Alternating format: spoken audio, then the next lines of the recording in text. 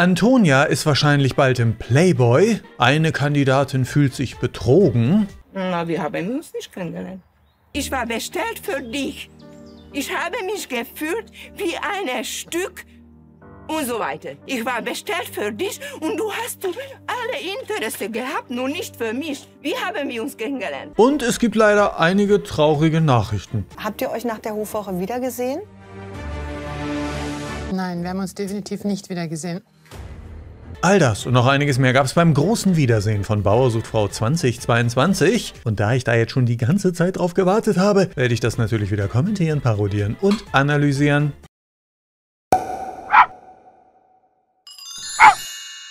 Wie immer gilt, alle Folgen gibt es auf RTL Plus. Und falls du das Wiedersehen gar nicht kennen solltest, da kommen wirklich nochmal alle Bauern und möglichen Paare zusammen und unterhalten sich ein bisschen. Und dann werden die ganz großen und wichtigen Fragen geklärt. Ich freue mich auf die anderen Gesichter, was so passiert ist, auf die Geschichten, wie allen ergangen ist. Da freue ich mich schon mega drauf. Ich lasse mich einfach überraschen, was passiert. Und ähm, ich denke schon, dass bei einigen was gefunkt hat und dass da die Liebe entstanden ist. Stimmt! Und bei einigen anderen auch nicht. Und manchmal merkt man das sogar schon an der Anreise. Denn irgendwie waren die ersten Bauern alle alleine da. Moin Jungs! Moin! Hallo, grüß euch! Wer ist denn da? Hallo, Martin. Hallo.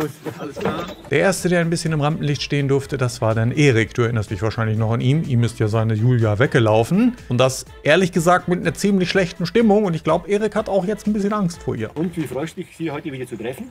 Ja, na, gemischte Gefühle. Ich hoffe ja, dass wir wie erwachsene Leute drüber stehen können. Erik als Erwachsener. Okay, weiß ich jetzt nicht, wie realistisch das ist. Und ich weiß auch nicht, wie realistisch das ist, dass Julia nicht mehr wütend ist. Aber erstmal wirkte sie eigentlich ganz positiv. Weiß ich noch gar nicht so richtig, wie das Aufeinandertreffen jetzt wieder so wird. Und ich lasse mich einfach überraschen und schaue jetzt mal, wie das äh, alles kommt. Na gut, immerhin hat sie schon mal keine Reitgerte dabei und sie sah jetzt auch nicht so aus, als würde sie Erik gleich eine Ohrfeige geben. Dementsprechend war die Begrüßung zwischen den beiden eigentlich okay. Halt so wie unter zwei Kollegen, die sich wirklich nie besonders gemocht haben und sich dann im Weihnachtsschlussverkauf bei Karstadt wieder treffen und feststellen, dass sie das gleiche gekauft haben. Hallo. Ah, Hallo.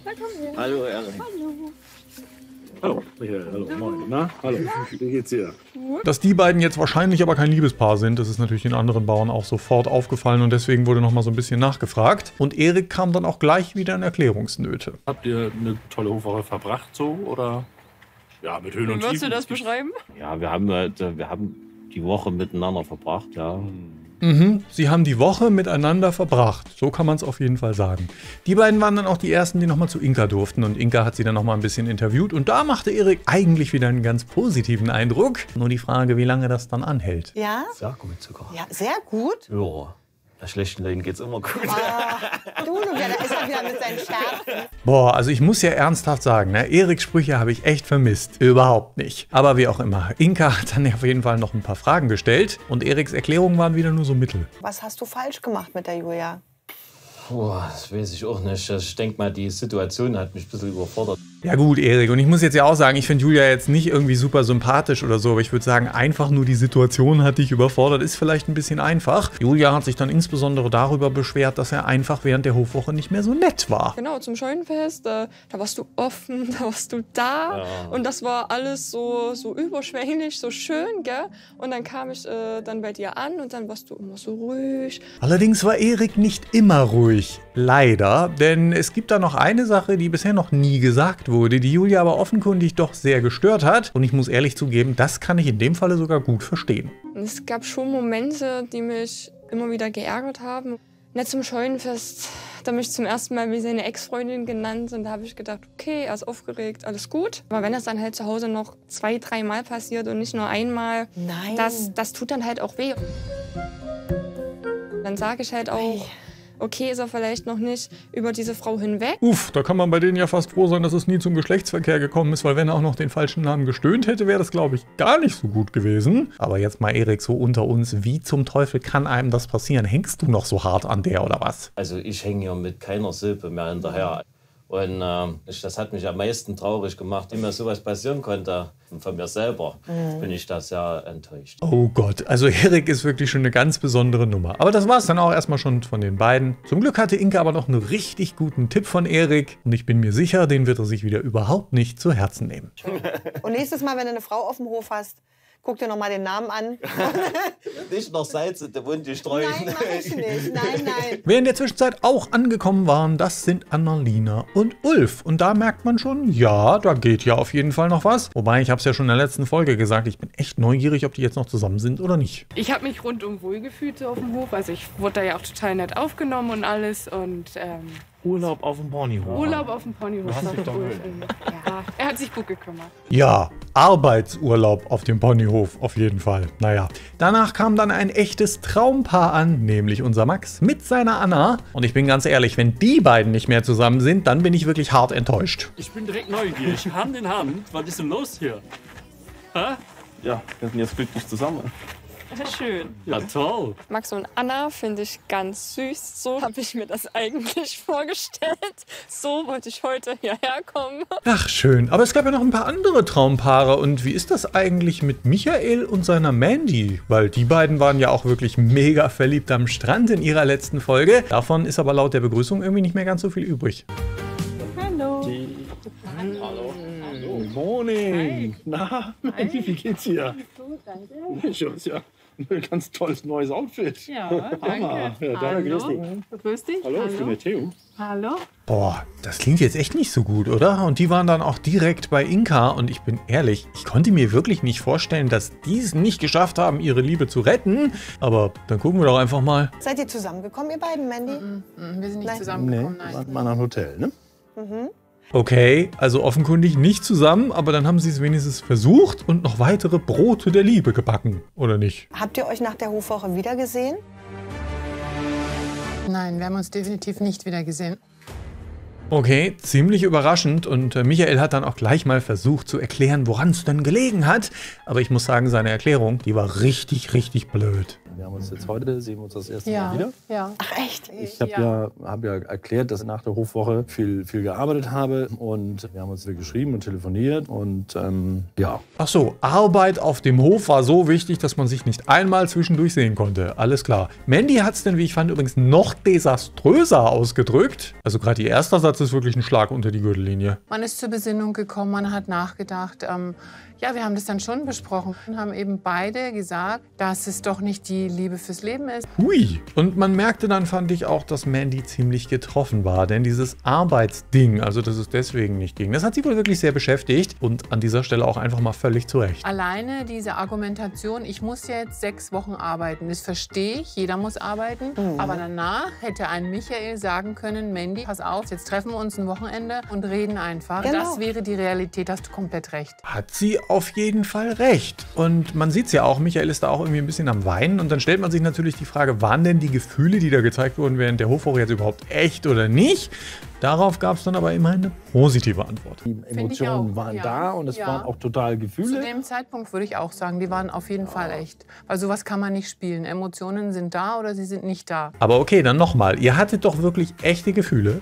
Und ihr seid jetzt auch in einem Alter, wo man sich nicht mehr unbedingt verhalten muss wie ein Teenager, der beleidigt ist. Also Michael, erklär uns doch jetzt bitte mal, was da zum Teufel passiert ist. Da hätte man sich trotzdem noch mal treffen können. Aber ich habe es nicht gemacht und ähm, jetzt muss ich auch mit der Konsequenz leben. Man muss das jetzt, glaube ich, alles mal einmal ein bisschen sacken lassen, Ja. diese ganze Geschichte. Absolut. Aber so ist das Leben. Das ist das Abschlusswort.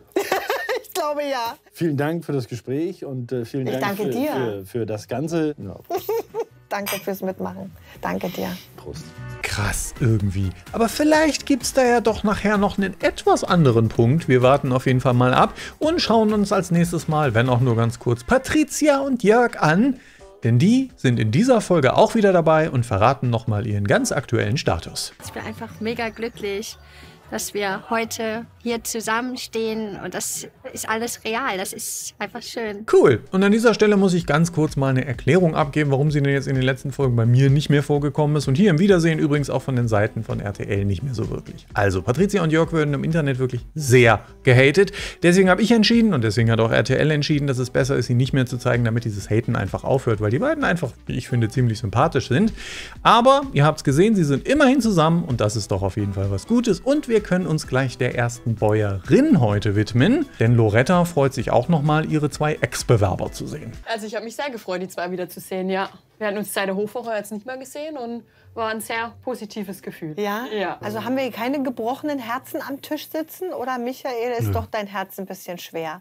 Nö, das war eine schöne Zeit. Okay, also gab es da leider wohl kein Liebeswunder mehr mit Sascha. Aber der hat dann was wirklich ganz, ganz Großes über die Hofwoche gesagt. Und wir wissen ja, er ist ja sonst eher für seine schlechten Sprüche bekannt, aber das klang ungewohnt ernst. bin ja wahnsinnig dankbar für die Woche. Ja, sie hat mich zurückgeholt äh, ins Leben. Krasse Aussage. Und Sascha hat dann auch noch gleich mal erklärt, was er damit eigentlich genau meint. Und ich weiß nicht, ob ich das irgendwie nicht mitbekommen habe, aber ich glaube, das wurde während der Hofwoche nie so richtig thematisiert.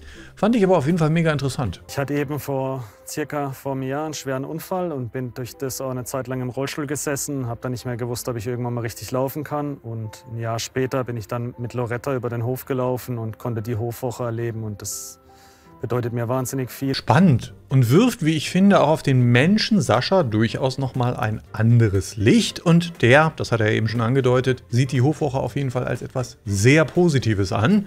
Naja, und wenn sie ihm auf seinem Lebensweg weitergeholfen hat, dann war es doch auch einfach gut. Nur seine blöden Sprüche, die macht er in Zukunft hoffentlich dann nicht mehr. Egal wie es jetzt so ausgegangen ist, Wahnsinn. Ja, das werde ich ja nie vergessen. Schön zu hören, sowas. Dann doch eine schicksalhafte Begegnung. Genau. Damit ist auch dieses Gespann abgehakt und wir können uns als nächstes ja mal angucken, was bei Theo eigentlich so geht, denn auch Carola war wieder eingeladen und die fasst die Hofwoche völlig zurecht, sagen wir mal so mittelgut zusammen. War eine schöne Woche.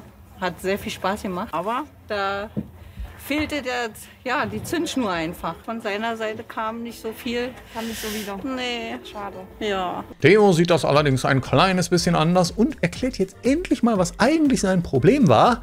Immerhin ehrlich. Nur irgendwie frage ich mich dann, warum er Carola überhaupt jemals ausgesucht hat. Sie war halt nicht mein Typ. Und wenn sie der typisch, dann kommen, nicht der typisch, dann kommen halt nicht die Schmetterlinge in den Bauch. Okay, Theo, aber dann überlegst du dir doch einfach das nächste Mal ein bisschen genauer, bevor du eine Frau eine Woche lang zu dir nach Hause einlädst. Aber egal, eine Frau sucht er auf jeden Fall in Zukunft immer noch. Und ich bin mir sicher, jede normale Person, die diese Staffel gesehen hat, wird sich nicht bewerben. Aber vielleicht gibt es ja irgendjemanden, der sie nicht gesehen hat. Mit der Carola hat es nicht geklappt. Bin immer noch Single. Und ja, ich lasse einfach mir zukommen. Wie es kommt, kommt es.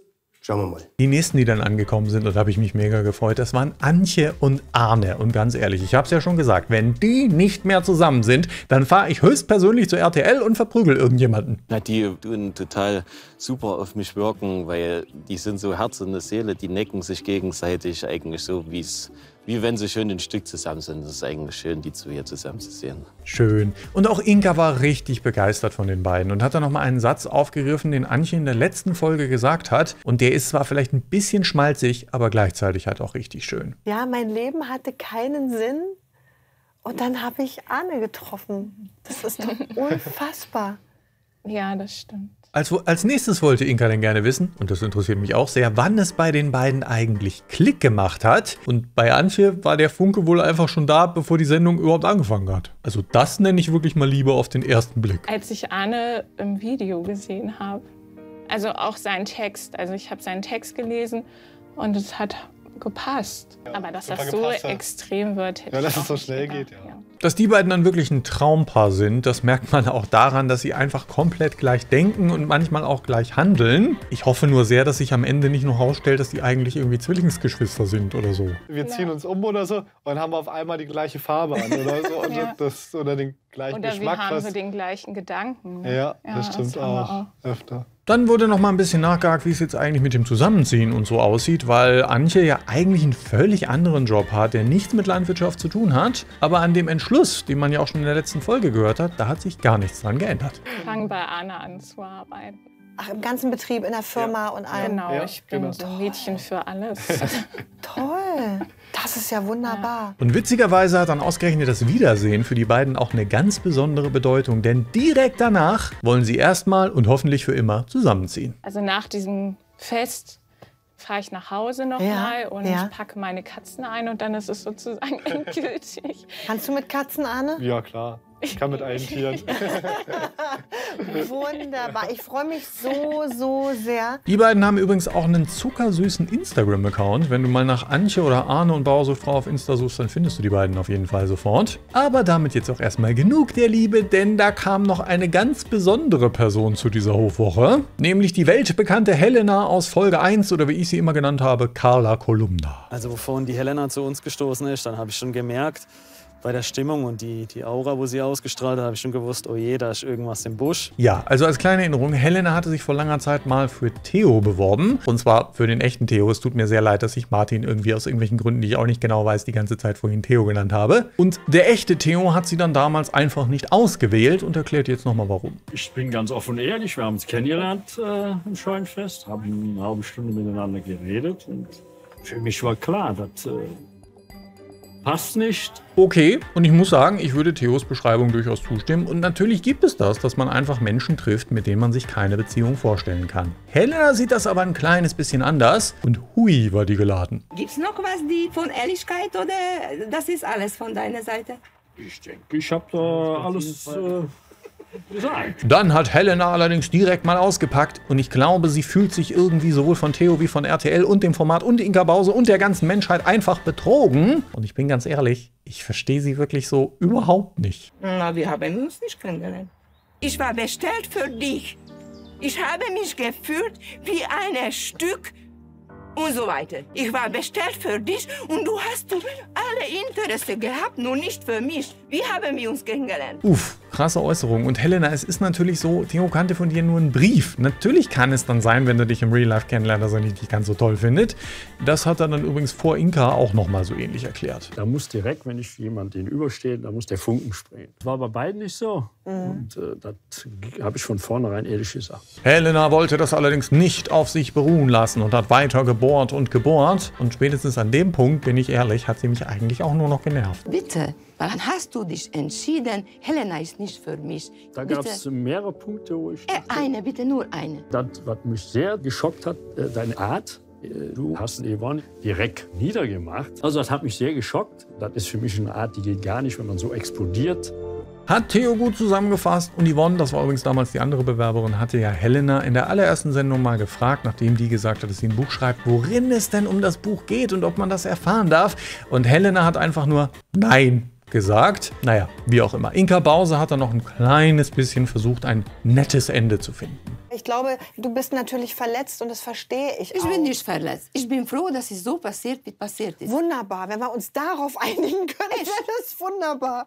Wirklich. Und ich finde das toll, dass du dennoch gekommen bist. Dann war Helena plötzlich weg. Die wurde wahrscheinlich aus Sicherheitsgründen von einem 37 Mann starken Security-Team begleitet. Und Andrea ist reingekommen, denn das ist ja nun die aktuelle Flamme von Theo. Und von der schwärmt er immer noch genauso wie in den letzten Folgen. Wie ich immer sagte, der erste Moment, äh, wie sie bei mir auf den Hof kam und stieg aus, ja, die Ausstrahlung, das Temperament merkte ich. Sofort, ja. Zack, boah, da dachte ich, Wahnsinn. Man muss sich halt nicht verstellen und das ist halt irgendwo toll, ja. Und was halt erschreckend ist, wenn ich irgendwas denke, Ja, das ist dann ist das oft gleich, ja, ohne dass wir darüber reden, ja. Schön, dass die beiden sich gefunden haben. Ein anderes Nicht-Paar, das in der Zwischenzeit angekommen war, nämlich Mike und Katrin. Ja, bei denen hat es ja leider nicht so gut geklappt. Katrin hat das nochmal aus ihrer Sicht wundervoll zusammengefasst. Ich hoffe, ich spreche für uns beide, dass wir uns eigentlich sehr gut verstanden haben. Ähm, Ja. Wir sind ja auch im Guten auseinander, aber ähm, für mich passen einfach zu viele Dinge näher. Ja, und soweit wissen wir das ja. Allerdings hat Katrin dann noch was ausgepackt, denn es gab da wohl nochmal ein kleines Treffen mit Mike. Hat zwar nicht viel geändert, fand ich aber dennoch spannend. Wir haben uns auch noch einmal getroffen, ähm, sind noch mal zusammen spazieren und essen gegangen. Ähm, ja, seitdem aber auch keinen Kontakt mehr. Ansonsten gab es bei den beiden leider aber nichts weiter Wissenswertes. Dann wurde es aber nochmal richtig spannend, denn Jan Henrik war auch angekommen und wir wissen ja, dass es bei dem und Michael nicht ganz so gut geendet ist. Aber Jan Henrik, der hat wohl immer noch große Gefühle. Ich habe versucht, Michael zu hassen, äh, ne, dass all diese Gefühle einfach wegzugehen, aber ähm, das habe ich nicht hingekriegt. Ähm, aber ich freue mich, ihn zu sehen. Ja? Und die beiden haben sich dann auch ganz lieb begrüßt und sind direkt zu Inka und die wollte natürlich auch nochmal wissen, was war denn da jetzt eigentlich los? Und Michael hat nochmal sein Problem erklärt. Ich habe mich so erstickt gefühlt. Und dann sind wir ja auch auf den gemeinsamen Nenner, dass wir halt gesagt haben, wir verbringen mal eine Nacht unabhängig voneinander. Wo ich dann sagte, wenn ich ihn jetzt morgen vermisse, dann bleibt er auf jeden Fall. Und das ist tatsächlich eingetroffen, dass ich mich sehr darauf gefreut habe. Okay, soweit, so positiv. Dann wurde es allerdings ein kleines bisschen komisch, denn es gab wohl noch das ein oder andere Treffen von den beiden irgendwie danach. Aber auch das ist aus Michaels Sicht nicht ganz so optimal abgelaufen. Wir hatten eine Uhrzeit verabredet, fahr zu mir nach Hause und ich sitze da wie bestellt mit abgeholt mit Geschenk und äh, er verschwindet im Bad. Okay, das ist wirklich ein kleines bisschen komisch und die Begründung von Jan Hendrik war, dass er sich dann im Bad noch schön machen musste, weil er davor keine Zeit hatte. Klingt schon ein bisschen komisch. Ich musste was für die Arbeit erledigen. Ne? So, und das hat länger gedauert, als was ich dachte. Hm. Weiß ich jetzt auch nicht so richtig, was ich davon halten soll. Du kannst mir deine Meinung gerne in die Kommentare schreiben. Aber Michael, der war auf jeden Fall in der Situation gar nicht begeistert. Und spätestens da war es dann für ihn wohl auch einfach vorbei. Ich war sogar noch später da als vereinbart, weil ich ihm noch eine Kleinigkeit besorgt hatte. Und er macht mir die Türe auf, komm rein, er verschwindet im Bad und ich sitze da. Ist einiges älter als ich. Da muss eine Person in seinem Alter halt reden können. Und das mit dem Nicht-Sprechen, das stimmt wohl tatsächlich. Denn Jan Henrik hat dann auch nochmal zugegeben, dass er wirklich einfach nichts gesagt hat, sondern einfach nur im Bad verschwunden ist. Und da muss ich dann ganz ehrlich sagen, auch wenn ich Michael bisher oft nicht verstehen konnte, das hätte ich, glaube ich, auch sehr merkwürdig gefunden. Was ich tatsächlich bereuen, ist einfach nicht so ihn zu sagen, du, ich freue mich, dass du da bist, ich bin noch nicht fertig, aber ich kann es bis jetzt noch nicht verstehen, dass das ist richtig der Punkt. Was dann wieder ein kleines bisschen überflüssig war, fand ich, war, dass Michael allerdings immer noch weiter in der gleichen Wunde rumgepokt hat. Und irgendwie ist Alter und Erwachsensein, glaube ich, für ihn wirklich großes Ding. Ich will, bin erwachsen an meiner Seite. Ich bin 28, finde ich für mein Alter schon recht weit. Und dann will ich eine erwachsene Person vor mir stehen haben, die den Mund aufkriegt. Hm. Aber trotzdem hat Inka auch nochmal darauf hingewiesen, dass die beiden eine Weile lang wie ein Traumpaar aussahen und dass es ja schon irgendwie schade wäre, wenn die jetzt einfach so getrennte Wege gehen.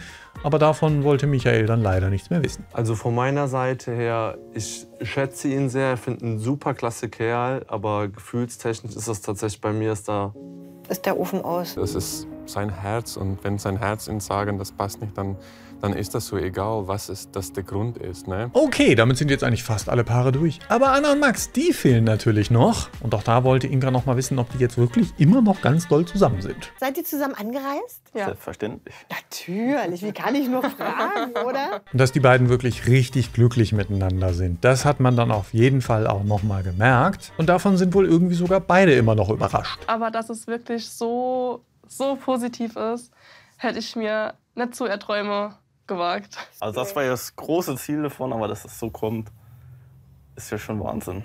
Allen Paaren, das habe ich übrigens immer weggeschnitten, weil wir das ja schon kennen, wurden dann nochmal die schönsten Bilder gezeigt und die haben Anna gerade ganz, ganz doll gerührt. Max Augen hingegen sind allerdings furztrocken geblieben. Guck mal, ich habe hier was für dich. Oh. Oh, danke. Brauchst du auch, Max? Oder? Nee, ausnahmsweise nicht. Auch bei den beiden wollte Inka dann gerne wissen, wann eigentlich der Punkt war, als man sich so ein bisschen verguckt hat. Und auch hier war es wieder Liebe auf das allererste Video. Also auf jeden Fall ist er schon mal schon bei der Bewerbung. Mein Gefühl hat einfach gesagt, mach's. Ja, dann auf dem Scheunefest schon. Wir haben uns ja dauerhaft angegrinst schon. Die beiden sind dann übrigens allerdings noch nicht zusammengezogen und Anna hat, wenn man so möchte, auch noch ein kleines Geheimnis, auf das sie auch noch mal ganz kurz Bezug genommen wurde. Aber auch mit dem scheint alles super zu laufen. Wie soll es weitergehen? Ich meine, du hast ein Kind. Das will ja alles wohl überlegt sein. Wir haben ja treffen uns auch mit ihrer Tochter dann, Mhm. so mindestens einmal die Woche, Ja. dass wir uns da so langsam aneinander gewöhnen. Was sagt sie zu ihm? Sie begrüßt ihn mit offenen Armen und das ist wirklich super schön. Da muss ich übrigens mal ein großes Lob aussprechen, weil ich weiß jetzt nicht, ob RTL das entschieden hat oder Anna oder wie auch immer, aber ich finde es immer gut, wenn man Kinder nicht im Fernsehen zeigt. Und übrigens scheint die Tochter auch wirklich überhaupt kein Problem zu sein, denn die beiden können die Finger gar nicht voneinander lassen. Wir haben ja eine echt Woche, da sehen wir uns jeden Tag. Wirklich? Ja. Und wenn wir uns nicht sehen, dann telefonieren wir. Ist das schön. Das ist ein Träumchen. Toll. Und damit waren eigentlich alle Paare erstmal durch, aber es gibt dann immer noch so eine kleine Aftershow-Party, würde ich das jetzt mal nennen. Und da macht man das, was man bei RTL halt immer tut. Saufen. Auf was trinken wir denn bitte? Auf die Liebe. Auf die Liebe. Und auf alles, was wir lieben, auf uns. In den vergangenen Staffeln war es dann übrigens auch oft so, dass auf dieser Aftershow-Party doch noch ein kleines bisschen Liebe entstanden ist. Und vielleicht, ganz vielleicht, ist das bei einem Paar in diesem Jahr auch wieder so. Denn Mandy und Michael, die haben sich schon auffällig intensiv unterhalten. Ich habe mich gefreut, dass Michael da ist. und ich glaube, er hat sich auch gefreut. Ähm, Ja, klar, Zwinker, zwinker. Nee, zwinker, zwinker. Zwinker, zwinker. Das rechte Auge, das. Oder? Nee, nein, absolut. Also, das ähm, war alles zu schön, um, um einfach zu sagen, Sellerie. Ne? Ja, ja- ich fände es schön, wenn ihr euch einfach noch mal trefft. Das war eine Ausnahmesituation und vielleicht ist dieser Abend für was gut, dass man sich einfach noch mal trifft zum Kaffee trinken. Ja, auf jeden Fall. Klingt irgendwie schon echt ganz positiv. Und Michaels Blicke, wie ich finde, auch immer ziemlich verträumt. Und die beiden haben, was das angeht, auch einen ganz klaren Plan. Wir haben einfach eine Wahnsinnszeit verbracht. Wir haben jetzt gesagt, treffen wir uns irgendwie im November in einer ruhigen Zeit mal und verbringen mal ein Wochenende, um zu gucken, ähm, ist da was, kann was entstehen, geht das irgendwie weiter. Und auch die Bauern, die ja nun leider gar keine Frau gefunden haben, bekamen dann nochmal die Möglichkeit, sich ein kleines bisschen dazu zu äußern. Mike wünscht sich nämlich immer noch seine erste Partnerin. Und du bist aufgeschlossen und, und hoffst, dass du vielleicht noch ein bisschen Post kriegst? Ja. Ja? Hoffe ich, ja, hoffe ich reichlich. Na klar, also ich bin mir ganz, ganz sicher, weil du bist so ein schöner, großer, junger, Oh, sympathischer Mann. Das ich darf das ja sagen. Ja. Ich darf das Ja. sagen. Und auch Theo durfte sich nochmal Briefe wünschen. Und liebe Frauen da draußen, falls ihr euch überlegen solltet, ihm zu schreiben, tut es lieber nicht, außer ihr wollt einen Arbeitsvertrag. Also ich bin nur Single. Wenn was wäre, könnt ihr euch bewerben bei RTL. Oder nicht? Ja, natürlich. Genau. Und er hat die schönste Bank im Allgäu mit dem schönsten Ausblick der Welt. Okay, das war's jetzt erstmal mit der Folge. Ich habe euch ja aber noch ein paar Neuigkeiten über Antonia und Patrick versprochen und die gibt's natürlich auch noch. Denn eine große Tageszeitung hat vor einigen Tagen getitelt Antonias sündiger Nacktwunsch. Auf Instagram verrät Antonia in einer Fragerunde auf die Frage eines Fans, ob sie sich für den Playboy ausziehen würde. Ja, auf jeden Fall wäre ich nicht abgeneigt. Ihr wisst ja, ich hatte schon mal einen Erotikkalender, den ich vor zwei Jahren rausgebracht habe. Und das fand ich tatsächlich relativ interessant, weil ich kann mir Antonia tatsächlich relativ gut im Playboy vorstellen. Irgendwie sieht sie halt ein bisschen so aus. Und ich glaube auch, sie würde das definitiv machen. Aber da auf Instagram hat sie dann auch nochmal erwähnt, dass Patrick damit auch kein Problem hätte. Aber das scheint sowieso keine so ganz große Rolle mehr in ihrem Leben zu spielen, denn es gibt dann noch eine andere Schlagzeile. Geliebt, gezofft, getrennt, alles aus bei TV-Bauer Patrick und Antonia. Und ja, tatsächlich, und das haben ja auch einige Leute von euch gestern nochmal gepostet, ist es wohl so, dass die beiden sich getrennt haben. Wundert einem nach dem Sommerhaus jetzt ehrlich gesagt auch nicht. Und die beiden haben auch ein relativ langes Statement auf Instagram rausgegeben. Aber ich bin ganz ehrlich, es ist stinklangweilig und deswegen lese ich euch das jetzt nicht vor. Und stellt stattdessen eine ganz kleine kurze Behauptung auf. Denn Gerüchten zufolge dreht RTL jetzt gerade im Moment eine neue Staffel von Prominent getrennt. Und irgendwie könnte ich mir vorstellen, das Ganze ist nur ein PR-Stand. Aber das werden wir dann bestimmt im neuen Jahr irgendwann gemeinsam herausfinden. Und ich hoffe, du hast auch Lust, mir so lange die Treue zu halten und jetzt kostenlos meinen Kanal zu abonnieren. Und falls du dich fragen solltest, was es jetzt hier in nächster Zeit gibt, ich möchte gerne mit euch nochmal nach Österreich zum dortigen Bauersuchtfrau. Kann allerdings noch nicht ganz versprechen, ob das wirklich rechtlich klappt, aber ich gebe mein Bestes. Und ich will mir demnächst mit euch auch ganz gerne nochmal die neuen Hochzeitsfolgen von Narumol und Josef angucken, denn die haben in Thailand wohl nochmal geheiratet. All das und noch einiges mehr wird es hier also auf jeden Fall auf dem Kanal geben. Und deswegen würde ich mich jetzt noch sehr über eine positive Bewertung freuen. Und wenn du mir einen Gefallen tun willst, kannst du dir auch sehr, sehr gerne nochmal die Kanalmitgliedschaftsfunktion angucken. Aber all das musst du jetzt streng genommen sowieso wieder tun. Denn sonst gibt es nie wieder eine Staffel Bauer sucht Frau.